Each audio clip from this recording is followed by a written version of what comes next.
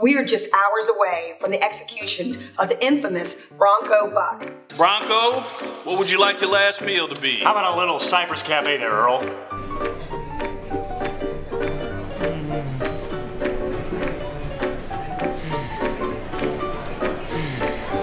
To go box for later?